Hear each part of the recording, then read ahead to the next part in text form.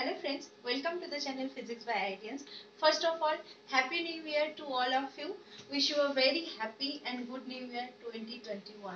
So in this video, I shall discuss a very important concept uh, that was come uh, uh, that came in GATE 2020. Okay, and we are preparing for GATE 2021. So the question was asked in one number question, but this question is inter for uh, important for interview also. So I request you to watch this full video. The question is a medium where epsilon r is greater than 1, mu r is equals to 1, sigma equals to 0 is semi-transparent to an electromagnetic wave when the conduction current is greater greater than the displacement current the conduction current is less less than the displacement current. The conduction current is equal to displacement current or both the conduction current as well as the displacement current are zero. Ideally you should take only one second to find out the answer. Since it is here the semi-transparent medium and it is also uh, told here that epsilon r is greater than 1 and sigma is 0 so the conduction current is directly related to the sigma and the displacement current is directly related to the epsilon r.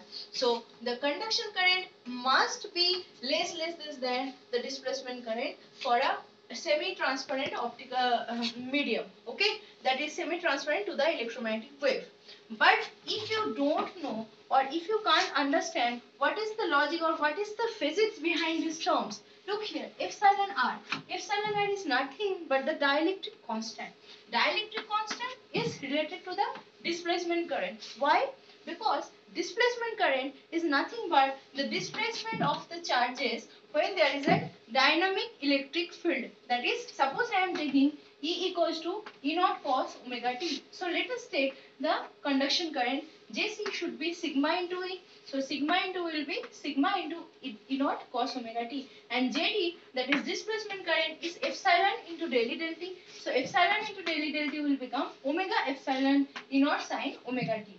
Now this is a semi-transparent. Semi-transparent means the material it can uh, pass the light through it okay? So in the metal the light cannot pass because we know that in the metal there is skin depth. The light will be only penetrate will can penetrate up to certain small distance that is the order of something i mean it will depend on different materials order of the skin depth. Okay? Skin depth is that distance where the amplitude of the electric field uh, becomes 1 by e times of its amplitude. Now uh, here this is semi transparent so this can pass, the light can pass through this semi-transparent material. So, the there will be the dielectric constant. So, if we take, let me uh, tell one by one actually. There are a lot of concepts which I cannot tell you just randomly. So, first of all, you can find out traditionally that JC and JD. Okay.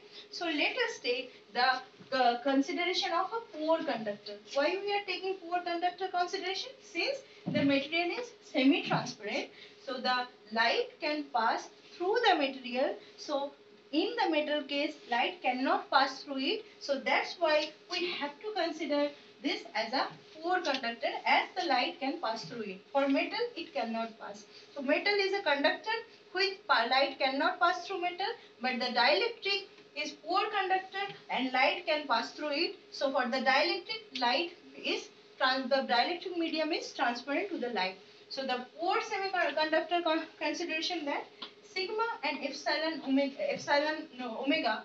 So we can take the ratio Jc by Jd that is the conduction current by displacement current and we get the ratio as sigma by omega epsilon and for the poor conductor sigma should be very very less than omega epsilon that is sigma by omega epsilon must be less less than 1. So Jc by Jd is should be very very less than 1. Okay.